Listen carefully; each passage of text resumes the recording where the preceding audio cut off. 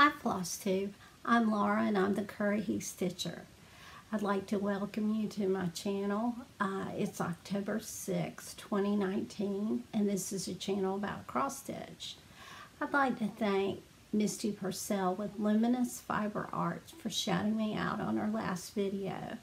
She is an Instagram friend of mine and she um, uh, would always comment. She'd take the time to comment and encourage me on my post. And uh, she's so busy. I mean, I think of her often and, and kind of worry about her that she's uh, doing so much. But she's a college professor and she is a fabric dyer, a cross stitch designer, um, she has her own Etsy shop, and so she takes care of filling orders and shipping them out. And she's very active on all the social media platforms, and she's just and she cross stitches um, her stuff and other people's stuff.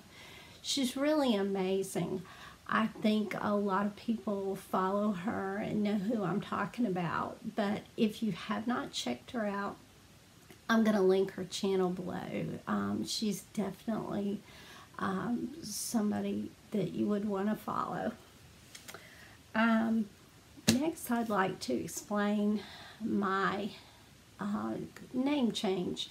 I changed my name from I Crochet with Cat Fur to Currahee Stitcher.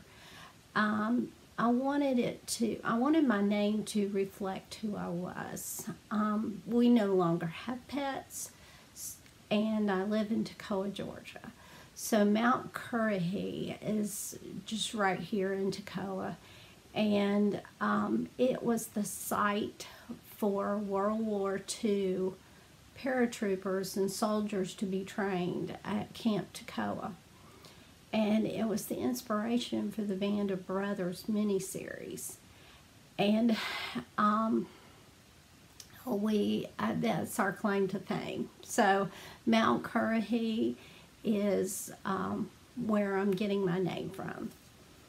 Oh, and also it's a Cherokee word that means stands alone, and it's so appropriate for that mountain because the mountain is not uh, huge or anything, but it's in the middle of a valley, so it stands alone, so it's very appropriate. And um, I, when I was Googling to see how my name would come up in YouTube, I ran across a video that if you're interested in world, not World War II history, but um, patriotic, uh, inspirational soldier stories. Um, the name of the video is What Currahee Means, but it's in regard to a soldier who was wounded in Afghanistan. And General Petraeus visits him in the hospital, and it's just really interesting. I think it's three and a half minutes long, um, and so I'm going to link that, uh, put a link in the description box for that video. It's very interesting. Um, the next thing I'd like to talk about is the stitching meetup that on September 28th in Gainesville. Um, this is the first time I ever met with real life stitchers and it was wonderful. Um, seeing everybody's projects in person, there's just no substitute for seeing uh, needlework in person, seeing the threads, seeing the fabric, seeing the patterns are just so much be more beautiful in person than they are um, just looking at a photograph. So I really I am thrilled to have found this group and I plan on going back, um, you know, as often as I can. Now, um, because I'm new to the group, I, it may take me a couple of months to uh, get my, you know, get into the swing of things and feel like I have um, friendships close enough to ask these women to share their needlework with us. Um, but I am going to ask permission maybe after the beginning of the year, um, after I've known them a little bit longer, um, to show me their work, let me film their work, because um, it's it's amazing. Um, I'm trying to talk several of them into doing their own floss tube channels because uh, it's just amazing what they what they do. So uh, let's get into stitching. I wanted to show you first off um, what I have FFO'd. I believe I told you in my last video that it's crooked. Um, that I had a few FFOs, and this is one of them. This is just, this is harvest time. It's a prairie schooler design. I've seen a lot of people stitching this on Instagram and everything. But this was so much fun to stitch. Um, I Priscillified it. It may not look Priscillified because um, it doesn't have a bow or anything on it. Uh, but the door was thrifted from Habitat for Humanity for a dollar.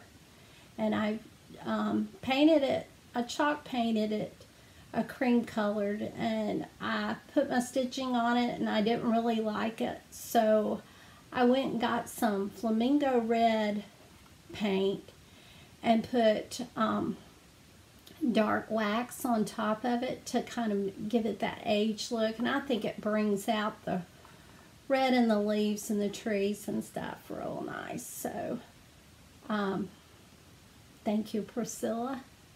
You inspire so many people. Um, but I was real happy with this. So that's it for my FFO.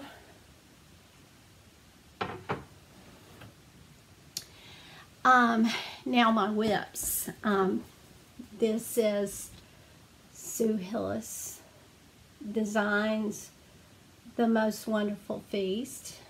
And I showed you that last time.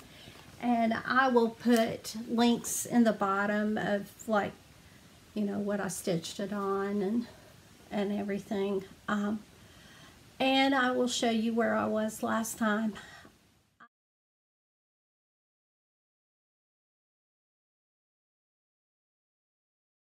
I have started the back stitching the pie and the pumpkin and some of the leaves and the corn huskers are uh, back stitched but not the actual ears of corn.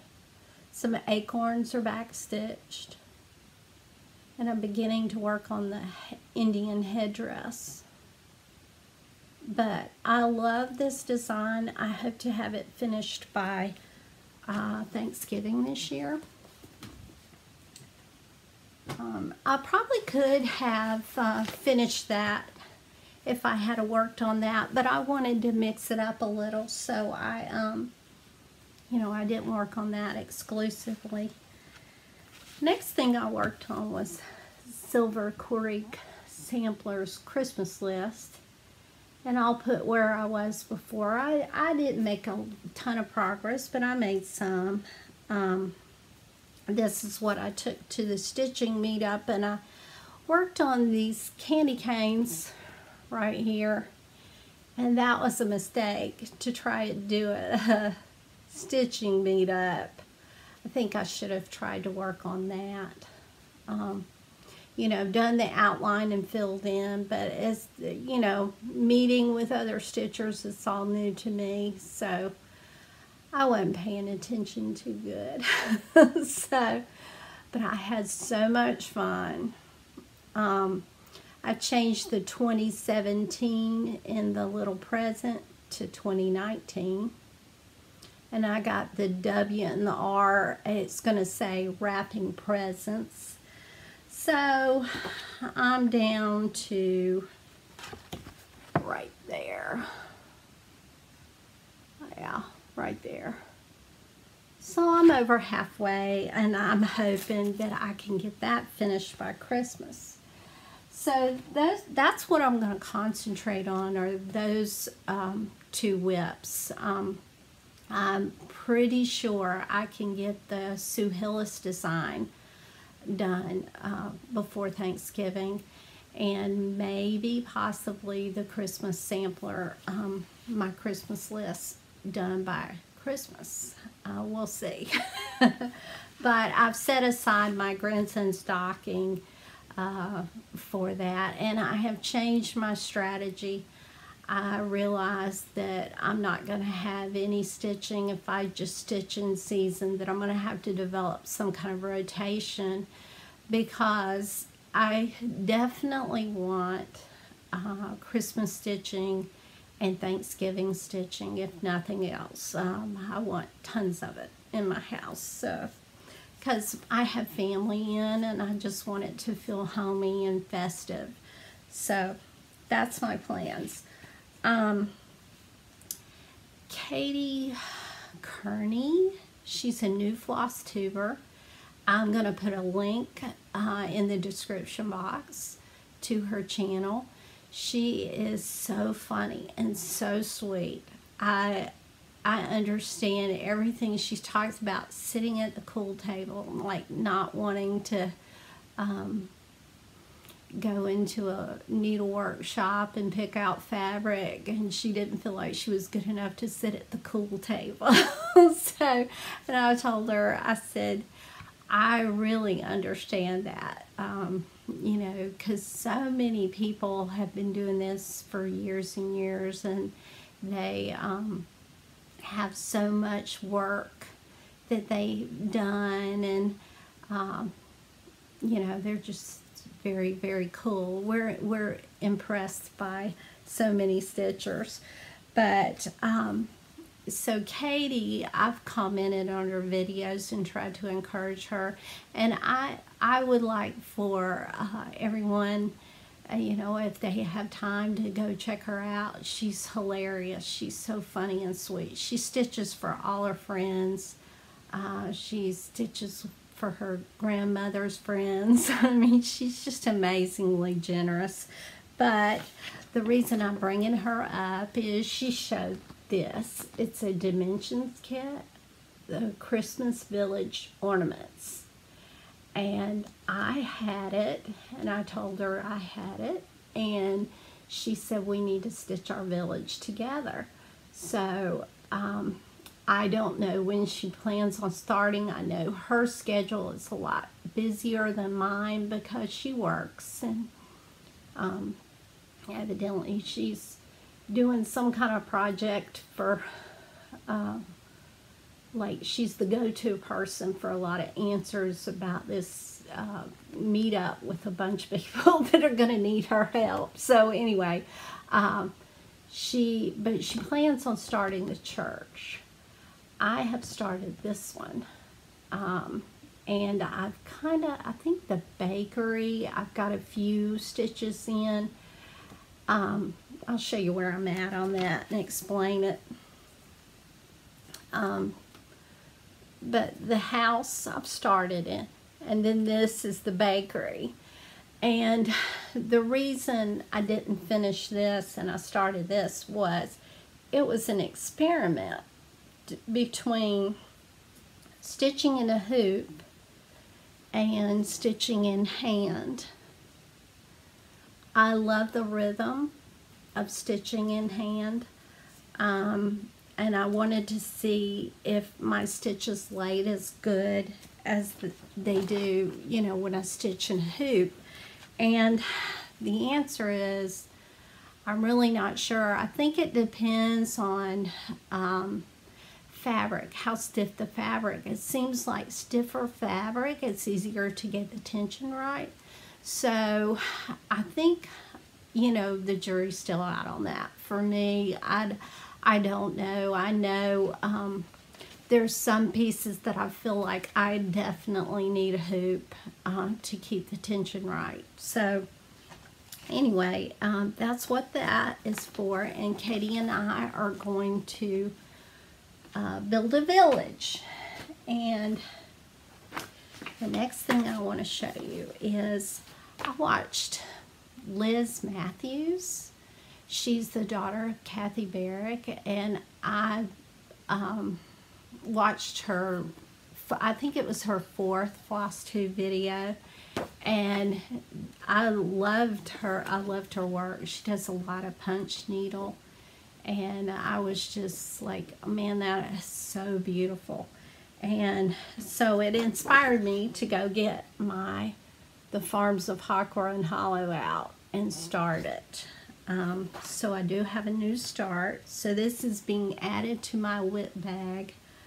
Um, but this is how far I got. And that doesn't look like a lot, but that is 92 stitches. Um, just that straight line. That's not counting those. so it's a lot of stitches. It's on 40 count uh, parchment by Weeks Dye Works. And I'm stitching one over two with the DMC threads. And I'll show you where this is on here. Okay, I stitched, I stitched this bird and these cows and part of the hill. Anyway, I love it. It's fun to stitch uh, because it is, uh, you know, blocks of colors, so you feel like you're getting somewhere, um, you know, and it's just going to be, it's going to be a long time. I mean, this is going to be a WIP for a long time, but that's okay. I, I'm having a ball with that. I love it. And that's all I worked on this week. Um, I do have a few pictures to put at the end about uh, a trip to the zoo we made on Saturday. I got to see my two of my three grandchildren and we had a blast. We had a we had a really good time. But I came home Saturday night, last night, and I was tired. So I took a little power nap and then I woke up and I thought I need to do something. Um, but I, so I worked on this Afghan. Uh, it's crochet and it's corner to corner. And I felt like it needed, I used this last year to decorate for my um, fall decorations. And I felt like it needed a little more length if somebody actually wanted to use it um, and put their feet like I like I like mine long enough to where somebody can put their feet under it. so anyway, um, I'm gonna put a link for a corner to corner YouTube tutorial. Um, I I found this, I mean, how I came to find this was on Instagram. One of my Instagram friends had, um, had made a blanket like this. And I just started Googling to see if I can figure out, you know, um, how to do it. so everything's on YouTube, all tutorials, a lot of things that you want to know about are on YouTube. So anyway, I hope this video was not too long. Um, I am going to put those links in. So when I upload, I will upload it uh, on my iPad, but then I will put the notes in after the video is uploaded on my computer. It's just easier to copy and paste that way. I don't like typing on my iPad. So I hope y'all have a happy stitching week and get everything done you want to get done. It, that never works for me, but I always wish it for my friends. so thank you for stopping by. Talk to you later. Bye-bye.